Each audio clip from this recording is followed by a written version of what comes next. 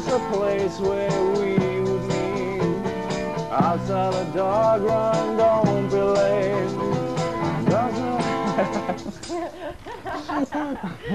Give it back or Watching the squares right up the street. That was the place where we would meet. Outside a dog run,